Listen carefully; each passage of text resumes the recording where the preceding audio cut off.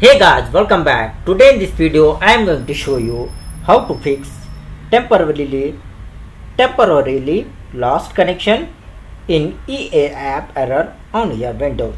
So for this guys, first method, you open the EA app, run as administrator. Go to your restart. Now search here EA app.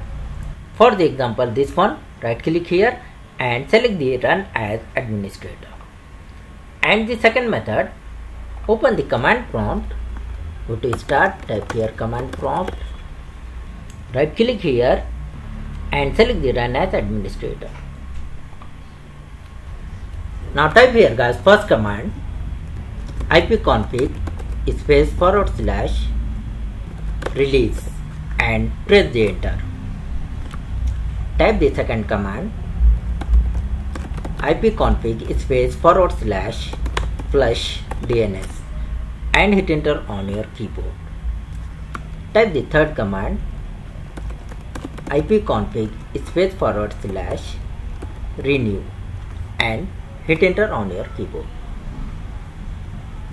Type the next command netsh space int space ip space reset and press the enter.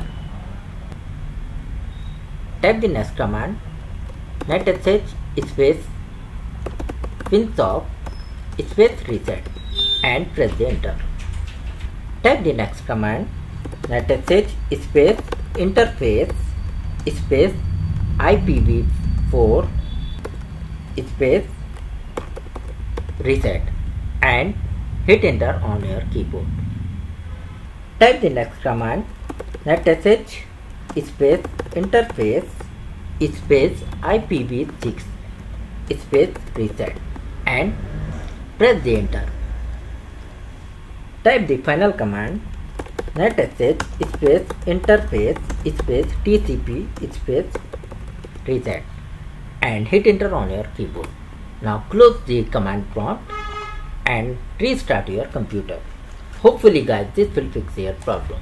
So thanks for watching this video. Please like, share and subscribe.